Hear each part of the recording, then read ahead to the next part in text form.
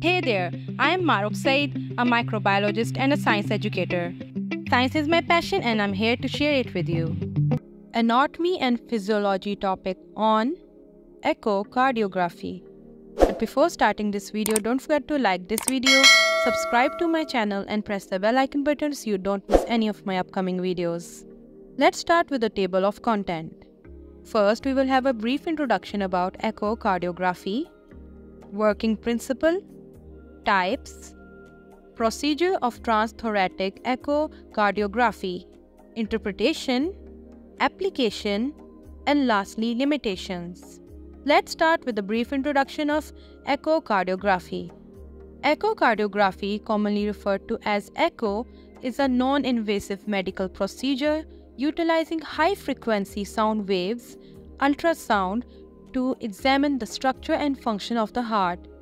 During the test, sound waves ranging from 1.5 to 7.5 MHz are employed to generate a 2D or 3D echocardiogram providing a detailed interval view of the heart. Echocardiography The echocardiogram offers valuable insight into various aspects of the heart including its size, valve dimension and function, chamber size, cardiac wall thickness, pumping activity, detection of cardiac tumors, and assessment of blood flow patterns. Cardiologists often recommend this procedure when abnormalities appear in the electrocardiogram or when symptoms such as shortness of breath, heart pain, angina, or other indications of underlying cardiac issues are present. Key components of the echocardiography machine includes a transducer or probe equipped with piezoelectric crystals for converting electric impulses into ultrasound and vice versa, a central processing unit with a control panel to receive and analyze signals from the transducer, a monitor to display heart images, and a printer for producing electrocardiograms. Let's learn the working principle behind this echocardiography. Echocardiography is based on the use of ultrasound waves to produce an image of the heart's surface and internal structure.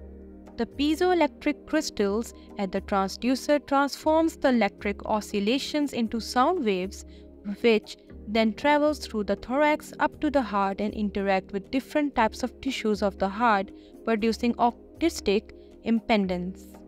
Due to this acoustic impedance, the sound from different parts of the heart gets reflected back, producing echo at different intervals with different frequencies.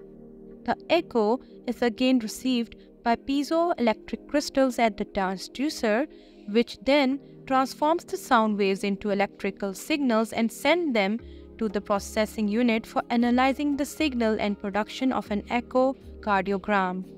If this video is helpful, don't forget to support my channel by subscribing. Types of echocardiography Echocardiography can be characterized into various types based on the approach used to generate echocardiograms and the specific information required. Number 1. Transthoracic echocardiography. Standard echocardiography involves the placement of the transducer on the chest wall. Number 2 transesophageal echocardiography involves passing a specialized transducer through the mouth to the esophagus for internal scanning. Number 3.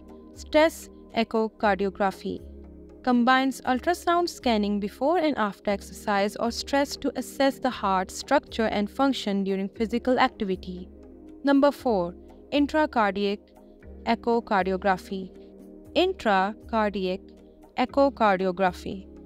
An invasive echocardiography type utilizing a catheter with an ultrasound transducer inserted through the femoral vein to produce an ultrasound image of the heart. If this video is helpful in any kind of way, don't forget to support my channel by subscribing. Procedure of transthoracic echocardiography. The examination involves the following steps. The patient lies flat on an examination table with the chest exposed to moving metallic objects and jewelry.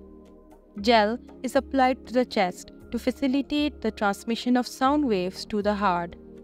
The echo probe or transducer is placed at a specific chest location emitting and receiving ultrasonic sound waves. The machine processes the reflected sound echo to generate the desired echocardiogram. Once obtained, the machine is turned off, the transducer is removed, and the gel is wiped. The echocardiogram is then printed for interpretation by the cardiologist. Now let's learn the interpretation of echocardiography. A trained professional examines the ultrasound scan image for the following normal results. Number 1. Heart size. All four heart chambers, atria and ventricles are of normal size. Number 2. Wall thickness. Normal thickness of the heart's wall and septum. Number 3. Heart valves. Intact, of normal thickness and functioning properly. Number 4. Blood flow. Normal and free flowing blood through chambers and valves without disturbance. Number 5. Ejection fraction. Normal ejection fraction typically 55% to 70% in adults. Number 6. Abnormal structures and fluid. Absence of abnormal tissue, clots, tumors, or fluid in the pericardium. Application of echocardiography. Echocardiography is utilized for various purposes including assessing heart function, ejection fraction, blood flow, and valve operation, diagnosing abnormalities in heart anatomy, structure, wall thickness, and septum, detecting pericardial effusion or abnormal tissue masses, screening for cardiovascular diseases, guiding intervention such as valve repair or surgeries, monitoring the heart's condition post treatment or surgery. Unfortunately, there are few limitations to this machine. Limited visualization of internal heart structure. Echocardiography fails to generate a distinct visual image of the heart's internal structure, including coronary vessels. Challenges in deep tissue penetration. In cases of patients with a larger body size, thick muscles, and increased fat layers, obesity, ultrasound penetration into the heart is hindered, resulting in restricted imaging depth. Lack of detailed tissue characterization. Echocardiography lacks the capability to provide in depth information regarding tissue characterization within the heart. Inability to assess electrical heart activity. The electrical activity of the heart remains beyond the scope of assessment through echocardiography. And lastly, operator dependent accuracy. The effectiveness of the test hinges on the proficiency of the operator conducting the procedure. So that's it for today. Thank you so much for watching till the end. Don't forget to like this video, subscribe to my channel and press the bell icon button so you don't miss any of my videos. Thank you so much.